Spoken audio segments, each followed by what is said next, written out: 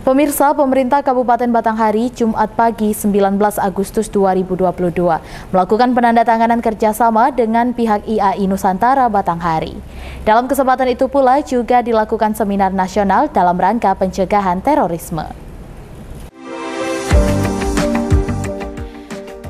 Sebagai bentuk meningkatkan sumber daya manusia yang berkualitas, pemerintah Kabupaten Batanghari melakukan penandatanganan kerjasama dengan pihak Institut Agama Islam Nusantara atau IAI Nusantara Batanghari Jumat pagi 19 Agustus 2022. Kegiatan yang digelar di Aula Kampus IAI Nusantara itu dihadiri langsung oleh Bupati Batanghari Muhammad Fadil Arif.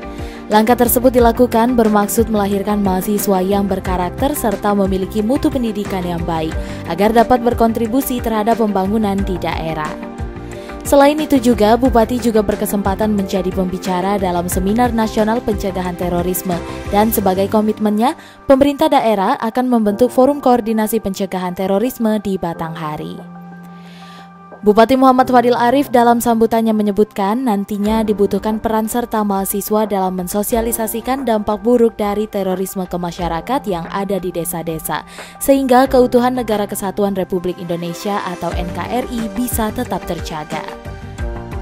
Tidak hanya itu, Fadil juga mengatakan radikalisme juga dapat disebabkan dari faktor sosial, karena radikalisme dapat disebarkan dengan mempengaruhi pemikiran orang lain.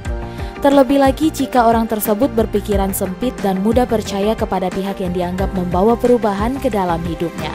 Padahal pihak tersebut menyebarkan suatu paham yang bertentangan dengan ideologi negaranya. Sementara itu, pemerintah daerah juga mengingatkan kepada seluruh masyarakat untuk tetap patut menaruh kecurigaan terhadap setiap orang baru atau pendatang dari luar Batanghari.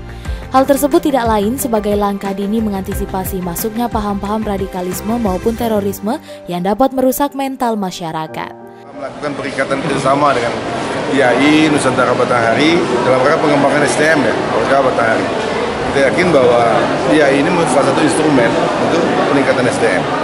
Karena kita tahu Batanghari IPM-nya masih, masih tidak cukup baik dibandingkan kabupaten kota lain di ada Nah, akselerasi yang kita lakukan salah satunya dengan perjanjian bersama dengan DAI Nusantara Matahari. Nah, dibantu dengan ibu-ibu ini, kita harapkan anak-anak kita, adik-adik kita bisa menjadi orang yang berkualitas dan kompetitif di Joni Firdaus, Cek TV, melaporkan.